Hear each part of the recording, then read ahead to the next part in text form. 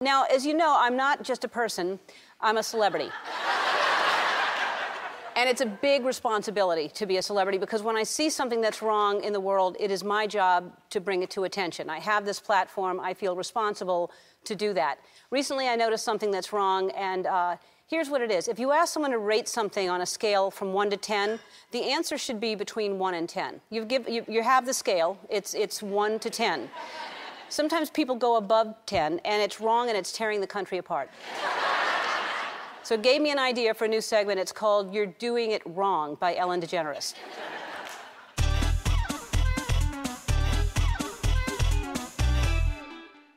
How bad was he? On a scale of 1 to 10, probably 100. On a scale of 1 to 10, about 25. On a scale from 1 to 10, it was a 15. On a scale of 1 to 10, I'm probably at a 12 right about now. On a scale from 1 to 10, probably a 1,000. On a scale of 1 to 10, 92. On a scale of 1 to 10, how intelligent are most politicians? Uh, 50%. On a scale from 1 to 10. Oh. 13. 13. 13. Really? 13? See what I'm saying? Wrong.